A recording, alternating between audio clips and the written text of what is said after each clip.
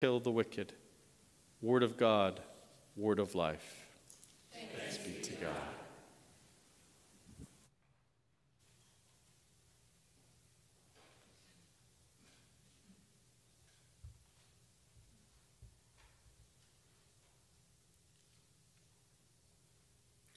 When I was six years old, our family moved from Burlington, Washington to a California suburb where my father had been sent to start a mission church.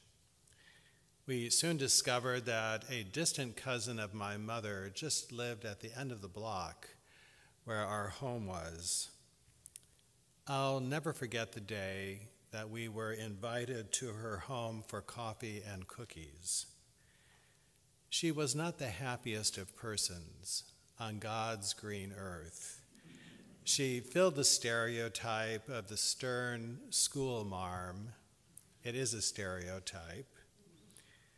When she asked my father's profession, he told her that he was a Lutheran pastor planting a mission in the western region of the Santa Clara Valley. I think we know that now as Silicon Valley.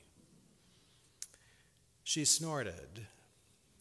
She actually snorted and said, Let me tell you, Martin Luther jumped, but he didn't jump far enough from the evils of Catholicism. she went on to say that as a Southern Baptist, she knew that she was saved from hell and the devil. And then she announced that there was not enough preaching about hell and the devil in the churches of sunny California. Uh, how she could make that claim, I have no idea.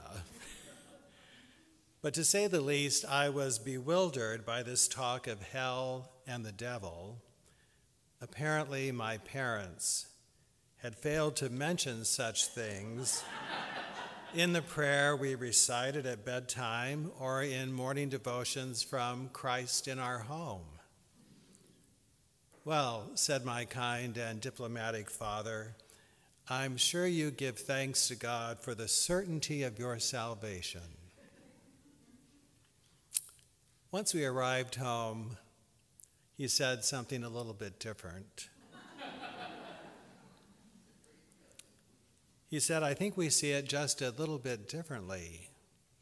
That is, I think we're saved not so much from something but saved for something. Those three words, saved for something, have remained with me throughout my life. And you might imagine why, because they beg the question saved for what? Salvation is an oft used term among Christians in preaching, teaching, in hymns, in liturgical texts a term used, I think, so frequently that it might just glide through our minds without much thought. Its Latin root, salvus, S A L V U S, salvus, salvation, means wholeness and health, as in the nurse applied the salve, S A L V E, to the wound. Could it be that salvation has less to do with escaping the pangs of hell and the devil, and far more to do with receiving the blessing of wholeness and health of body, mind, and spirit from God's generous hands? In his understanding of the human condition, our brother Martin Luther taught that all humans are wounded all humans are wounded, and that this wound is the innate tendency to be turned in on themselves. To be turned in on themselves, a notion that can sound odd, if not offensive, to privileged Americans who think, you know, I'm, I'm, I'm pretty good. I'm not wounded, I'm pretty good. The Latin term he used for this wound was incurvatus in se. Curvatus, curved. Catch it? The incurvatus, curved. being turned in on the self, suffering with a spiritual and psychological curvature so that one's vision of life is filled with the self and the needs and the desires of the self alone. Of course, such a tendency is aided and abetted and even approved in American culture. After all, scholars of culture suggest that we are now the most individualistic culture on the face of the earth and have been so since the 1950s. The problem with seeing only the self is that it becomes difficult to see others. And as Luther pointed out, to see one's creator, the community of the Holy Trinity. Of course, human beings can see other human beings. I can see you, and you can see me standing here. The problem is this if in my mind or imagination I see myself as the center of the universe, the shining, shining sun, so to speak, other people easily become planets circling around my orbit. Their purpose is to reflect my light, or perhaps your light. Others then can easily become objectified. And that capacity to objectify is strongly among us these days, directed at the immigrant, the houseless, the person who disagrees politically with you or me, the person of questionable sexuality, those challenged by poverty, the poorly educated. Seeing the other as a small planet whose purpose is to reflect one's light is, as we might imagine, the dream of every authoritarian leader. Whether that leader is a spouse, a boss, a teacher, a religious leader, or a public official who expects loyalty to him or herself above all other qualities. Consequently, being curved inward makes it challenging to recognize other human beings as one equals, made in the image of God, and deserving at least of one's respect, if not one's love. My friends who are therapists, not because I go to therapy a lot, but my friends who are therapists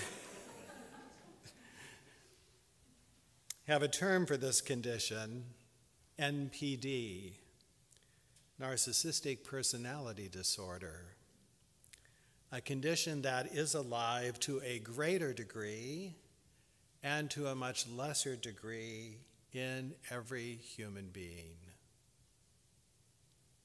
That's a slightly sobering thought, yes?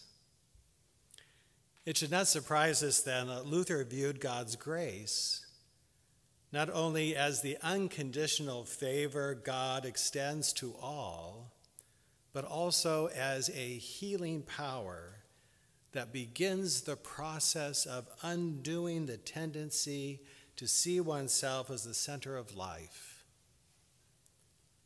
of the power of God's grace alive in the Christian, Luther wrote these words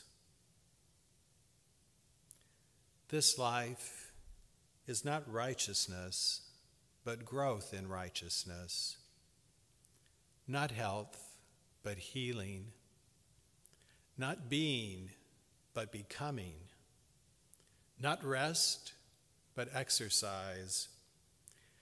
We are not yet what we shall be, but we are growing toward it. The process is not yet finished, but it is going on. This is not the end, but it is the road to the end. All does not yet gleam in glory, but all is being purified. It should not surprise us then that Luther imagined the community we call the congregation as a hospital, as a therapeutic center in which the healing power of grace flows freely. Those who struggle with the wound of being curved inward can find healing here in the waters of the font in the Word of God proclaimed and interpreted, in the healing rituals of the church, in what Luther called the mutual conversation and consolation of the brothers and sisters, and certainly in one's communion, our communion in the body and blood of the Lord.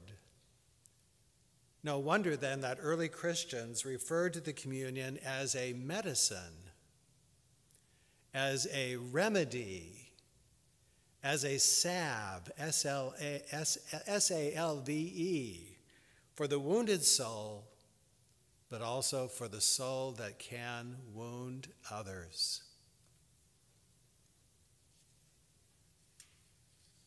But there's more. In a short essay written in 1519 on the significance of the Holy Communion for Christian living, Luther wrote this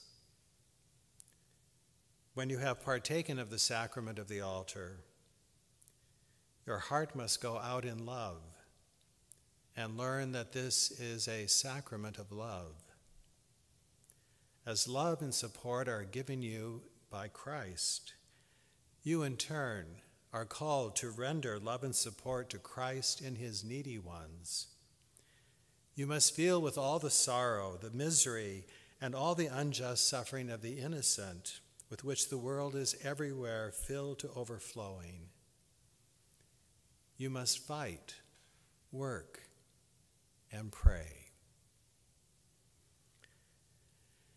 If we think the promise of salvation as only an escape from hell and the devil, one might well wonder what our purpose, our vocation as Christians is in the world today. To this, Luther answers clearly we are called to be agents of wholeness and healing in the world, in our families, in our relationships, in our workplaces, in public life. We have been saved for something. We have been saved by grace for something. We who have been grafted into the shoot that springs from the root of Jesse. We have been saved to live as witnesses to the one who does not disdain the poor, but judges them with compassion, the one who decides with equity for the oppressed of the earth. A number of weeks ago, I was leading a discussion of holy baptism at a Lutheran church in Tacoma. It will go unnamed. Toward the end of that discussion, a participant in the conversation made this comment and then asked a question. I wonder where we will be in the coming year with a new administration in Washington, D.C. As for me, he said, I'm fearful that we will continue to be engaged in two wars in Ukraine and in the Middle East, and that immigrants and minorities in our country will suffer even more in the coming months. What are we to do? He said. An almost impossible question to answer. What are we to do? I responded by saying this What do our baptismal promises ask of us? To proclaim Christ through word and deed, to care for others and the world God continues to create, and to work for justice and peace. Dear friends, as we anticipate the celebration of God becoming one with our flesh, one with the whole creation, it seems to me that we have been saved to lean into this work with greater thoughtfulness and energy, to live our lives as imperfect, imperfect incarnations of God's healing presence in our beautiful yet troubled world. Amen.